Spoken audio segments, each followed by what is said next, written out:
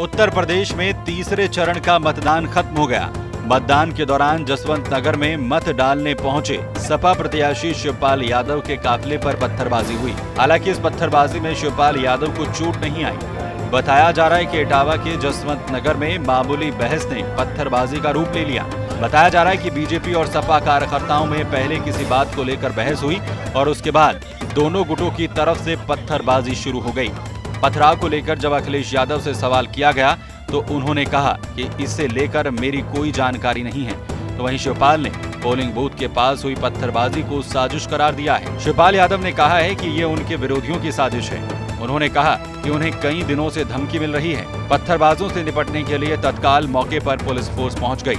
शिवपाल ने यह भी कहा कि हमने पूरा चुनाव जनता पर छोड़ दिया है। जसवंत नगर क्षेत्र की जनता हमारा पूरा चुनाव लड़ रही है। उन्होंने भीतरघात को लेकर कहा कि सब ठीक है, मेरी तरफ़ से कुछ ऐसा नहीं है। शिवपाल ने कहा कि जसवंत नगर क्षेत्र पहले नेताजी का क्षेत्र रहा है और फिर मेरा रहा है। नेताजी का आशीर्वाद और साथ बहुमत की सरकार बनेगी। वहीं उन्होंने पार्टी के अन्य प्रत्याशियों के प्रचार को लेकर इस बारे में अभी कुछ सोचा नहीं है। बताया जा रहा है कि जसवंत नगर में शिवपाल बूथ पर पहुँचे, तभी बीजेपी के लोग हो हल्ला करने लगे। सपा के समर्थकों ने जब इस बात का विरोध किया तो बीजेपी समर्थकों ने पथराव शुरू कर दिया। भारतीय जनता पार्टी का प्रत्याशी के बारे में यहाँ सब पूरे हमारे जसमनगर क्षेत्र की जनता जानती है, पूरा सब जानता है। उसके साथ कई दिनों से मोटरसाइकिल पर, कई काफिले के साथ, कई काफिले दस पंद्रह मोटर साइकिलों के साथ अभी भी घूम रहे हैं। सर क्या मतदान में भी गड़बड़ी हुई है क्या?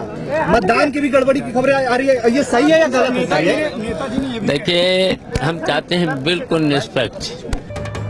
तीसरे चरण के मतदान के दौरान कई स्थानों पर हिंसा की खबरें आई हैं। उससे राज्य सरकार की सुरक्षा व्यवस्था पर सवाल खड़े हो गए नेशनल डेस्क टोटल न्यूज़।